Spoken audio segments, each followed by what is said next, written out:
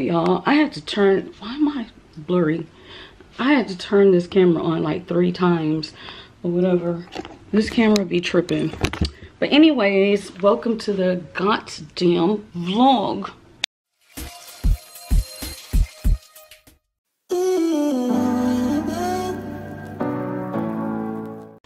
Getting ready to go to the store to get, um, yeah.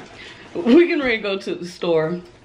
Go to the store. We gotta go pay our rent. That's what we're about to do right now. I have my cap. I'm wearing my cap again today because I haven't been doing my hair because I ain't been doing nothing. But um,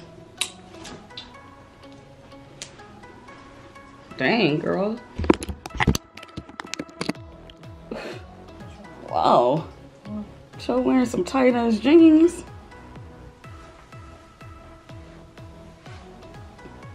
Damn. You gonna have niggas looking at you all day today. Anyways, um, I forgot what the hell I was saying. Hey y'all, I know I look blurry, I'm in HEB. About to get something to cook, probably for today and tomorrow.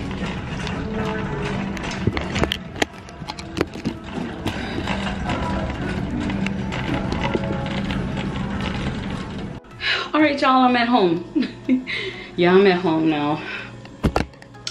I'm out of breath because I just carried my laptop case and the laptop in the house.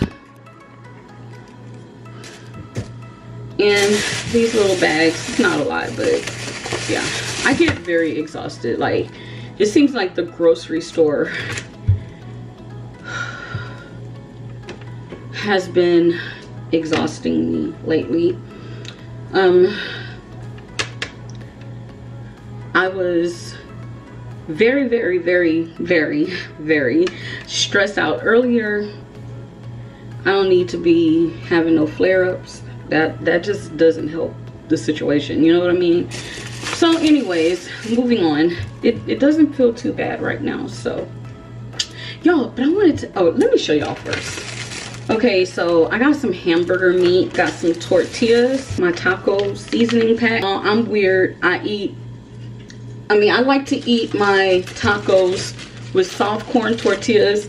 Last night I told Candace about that and she was like, Mom, you're so old school. Don't nobody eat soft corn tortillas anymore. And I was like, Well, I don't care. I do. You know? so yeah, but I don't want, I like, I don't want no lettuce on it. I don't want no cheese on it. I don't want nothing on it. I just like the hamburger meat and the taco seasoning plain like that in inside my corn tortilla so i got some potatoes and i got some sausage already have some sweet onions left so yeah so i'm gonna cut up tomorrow i'm gonna cut up onions and i'm gonna cut up the sausage and i'm gonna cut up the potatoes and put them in a pan together and cook that up it's gonna be amazing okay okay y'all tell me something now I am not superstitious, right? I try not to be. Well, I deliberately don't fall into superstition, try not to, because I do actually believe in, you know, spirits. I believe in manifesting. I believe in those types of things, energy, you know, all of that, which is why I've started to like, I'm trying my hardest. I just started consciously started yesterday trying to get back to thinking positive like I used to always talk about this on my channel positive thoughts manifests itself well positive thoughts and positive talk okay the words that come out of your mouth manifests itself in a positive way in your life and so I try not to be like superstitious, like, you know, don't bring the umbrella. I don't know if y'all heard of this one. You can't bring the umbrella open in the house uh, when it's raining because that's bad luck. Or you know i don't believe in luck basically. I may say good luck on some stuff but i don't believe in luck. Like i believe that things happen for a reason basically.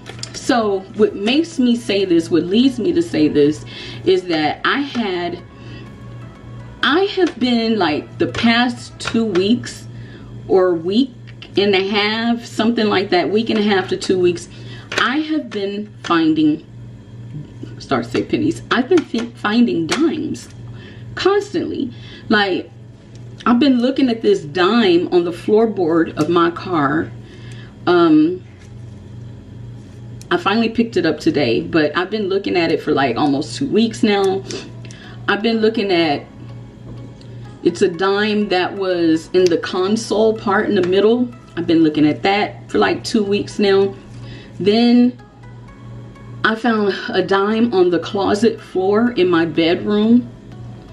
Then there was another dime on the little chair right here that I usually have next to the couch so I could sit stuff on when I'm laying on the couch.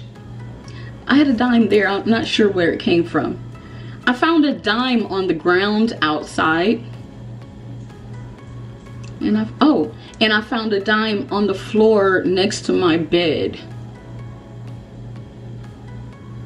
All within this time period.